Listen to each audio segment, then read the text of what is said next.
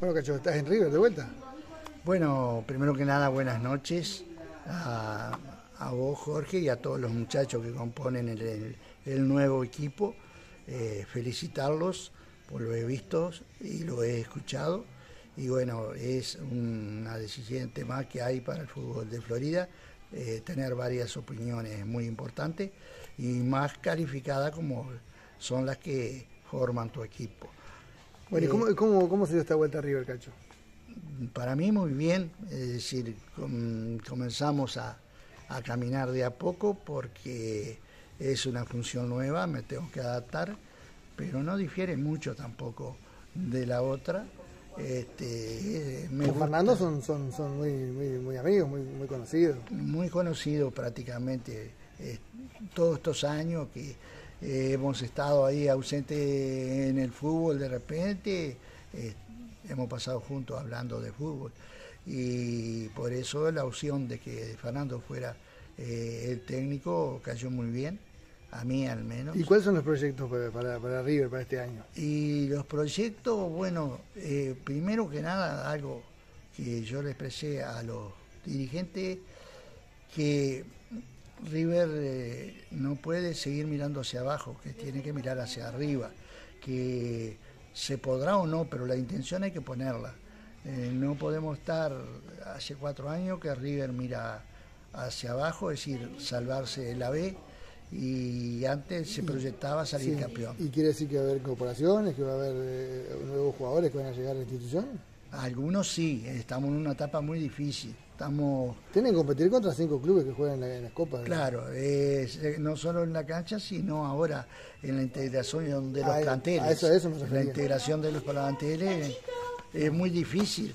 Eh, la integración de, de los jugadores porque lógico, el jugador eh, tiene la expectativa de jugar copas este, y eso eh, un poco los motiva más para ir a otros equipos.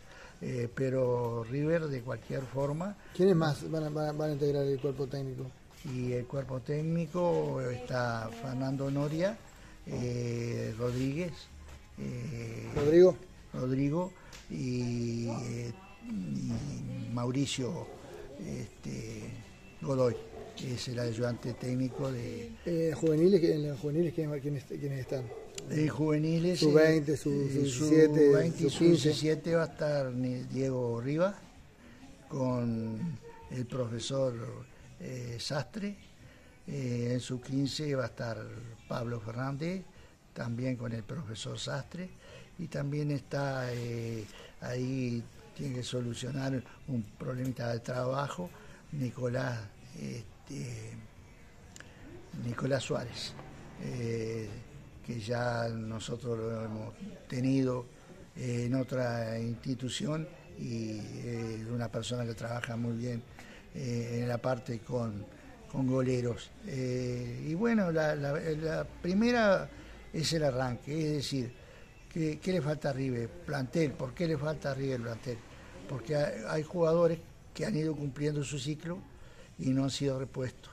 No han venido jugadores desde abajo con condiciones, eh, es decir, han jugado, no quiere decir que no lo hayan puesto, han jugado, pero dos o tres partidos y desaparecen y no han colmado la expectativa como antes. Vimos que, que, Golero Cabrera se despidió, ¿no sigue en River? No, no sigue en River. ¿Y ya, ya tienen reemplazante o va a ser alguien de los que estaba bueno, uno estaba, pero se va a traer otro que capaz que hoy eh, o mañana quedaría contratado.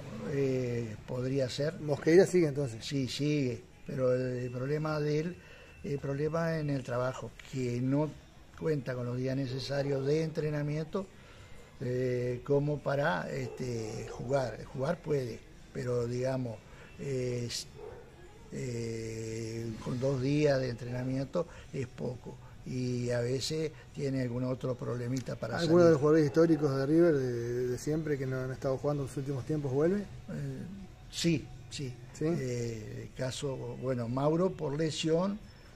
Mauro Cardoso. Ya se está recuperando a paso acelerado, faltan cuatro meses, va a llegar muy bien. Porque se está tratando con profesores y con fisioterapeutas, ha hecho todo. él es muy responsable. es muy responsable y, eh, también de Carlos, Pepito. Pepito, pescador. Pepito, pescador también.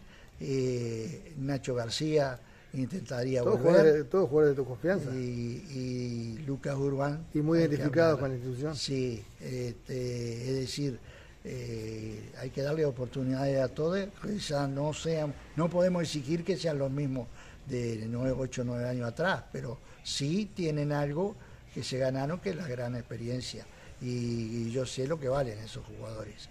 Y bueno, y, hay jugadores jóvenes también importantes, hay dos jugadores de la selección eh, que tienen buen nivel de fútbol y también hay que arrimar eh, algunos al plantel, que incluso algunos que tenga pasado en River y que siempre que ha jugado en el club lo ha hecho a gran nivel.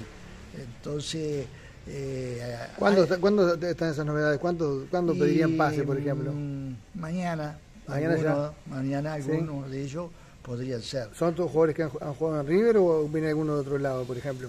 Mm, viene Sabemos cómo te gusta traer jugadores, traer jugadores importantes siempre. ¿Te gusta? Un nombre te lo puedo decir, porque ya está Juan Bogado. Juan Bogado, el delantero de San Lorenzo. Sí, eh, ese jugador ya solucionó y gustoso, vino primero que, que ha jugado contra River, conoce al club y en River también eh, les gusta la la forma de jugar de él. Entonces le hablamos y como el, pase eh, pertenece a él, eh, gustoso este, viene. Pero eh, precisamos también, hay otros nombres que están comprometidos, pero después que termine la vida. Entonces nosotros apostamos a llegar mejor que estos últimos años no podemos decir campeones, pero eh, apostamos a llegar más arriba. Capaz que con un poco, con un poco nomás ya, ya, anda más arriba, pero... Claro, pero la idea es los últimos años... De, no meterle en la cabeza lo de abajo, de meterle lo de arriba y superarse cada vez más, que el jugador no juegue por inercia, sino que juegue porque sabe que puede, pero para eso se tiene que preparar mucho, en la parte física y mental también. Muchas gracias, Cacho. A las órdenes, Jorge.